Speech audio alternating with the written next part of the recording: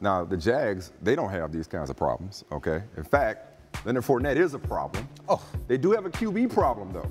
And my man Daniel Jeremiah of NFL Network, he has a solution. He floated this two days ago that if you're Tom Coughlin and David Caldwell, would you make a call to the Giants to ask what it would cost to acquire Eli Manning. Darren, this makes way too much sense to me. Oh, it makes a lot of sense for the Jacksonville Jaguars. Not for the Giants. Well, it doesn't. I mean, one day he's not going to be your quarterback. Absolutely. Expedite so, so you're process basically and saying, get picks to rebuild this thing. You're basically saying they're going to get a top five pick this year. They're going to have the opportunity maybe to get a, t- a top five on their pick own. on their own, and they right? get an additional one or more if they flip so Eli, who's not going to play forever. So basically, you're scrapping everything. Everything's going to Tearing the whole the whole thing thing, down. Blow it up. Defense as well.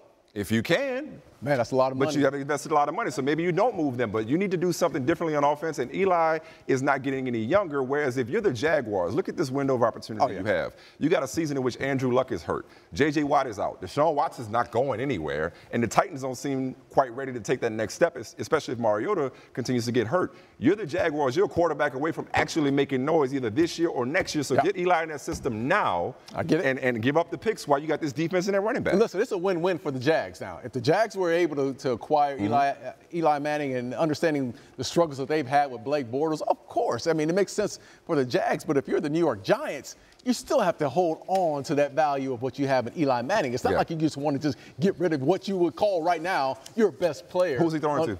Oh, he's not going to be throwing You don't to even any know. Yeah, right I'm now. track. Right, now, he's not throwing to anybody. But I'm still, he's still, your, he's still a great asset that you have. You just, this ain't a freebie. Hey, Yeah. Tom Coughlin, I know you were here. Yeah. Uh, we're just going No, to you're go not ahead doing and any give favors. Eli. There ain't Right. no favors here in this league.